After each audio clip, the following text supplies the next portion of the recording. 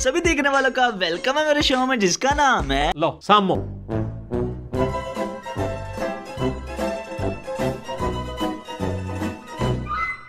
जो ग्यारहवीं शरीफ वो मनाते हैं कुरान और हदीस इसका कोई सबूत दे दे तो बेहतर होगा। चलो भाई देखो अब मैं क्या करता हूँ। ना मनाने का सबूत अच्छा कहाँ से लाएँगे? पहली पेशी पे ही आपका मुकदमा फारिग हो गया। यानी किसी चीज़ का मना ना होना ये उसके जायज़ होने की दलील है। ड्रामा लाया तो छोड़ दो अल्लाह के बंदे इस ड्रामे को छोड़ो तुम किताबो ਕਿਤਾਬੋ की ਦੀ की तरफ़ हज़रत सैयदना अब्दुल्लाह इब्न मसऊद रज़ी अल्लाह तआला अनहु फरमाते हैं है ना फराडियाँ को बचो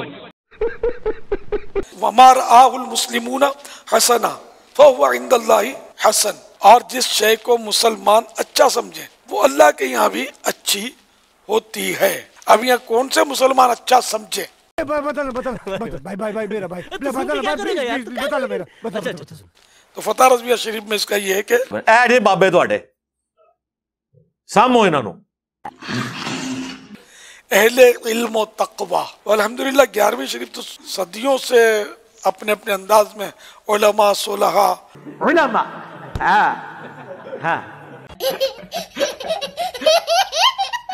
मनाते आ रहे हैं अच्छा इसलिए वो हर चीज़ के लिए ये कहना कि इसका सबूत तो सबूत मैं सही कहता हूँ। मैं पागल वागल हो गया रिवाइंड करूँ जरा? मैं सही कहता हूँ। अबे बाबली सीरी का पागल वागल हो गया क्या बातें कर रहा है? दोबारा रिवाइंड करके सुनता हूँ मैं। मैं सही कहता हूँ। अच्छा।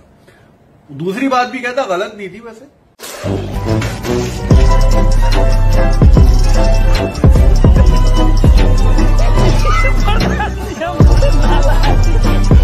देखो कितना बुज़ुर्गों का और उलमा मज़ाक उड़ा रहे हैं सब बह के।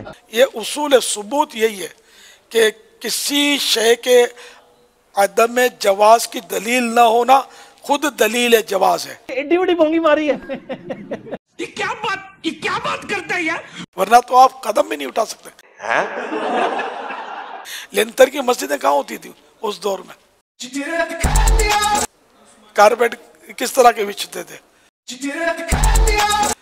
पक्की छतें कहाँ थी? मस्जिद नबी शरीफ की भी कोई इस तरह की पक्की छत थोड़ी थी।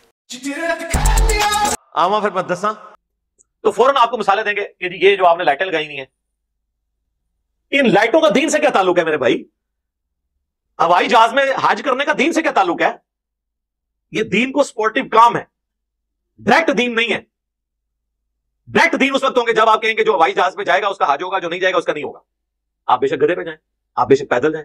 ये दीन को स्पोर्टिव चीज़ है। कैमरे में रिकॉर्डिंग दीन को सपोर्टिव चीज़ है। नमाज़ पढ़ते लोग कहता है ऊपर इस कालीन के और सामने इस एसी शरीफ के। कहता है और नीचे सीलिंग शरीफ के। और मुँह तरफ़ खाना काबा शरीफ के। ये वो कहता है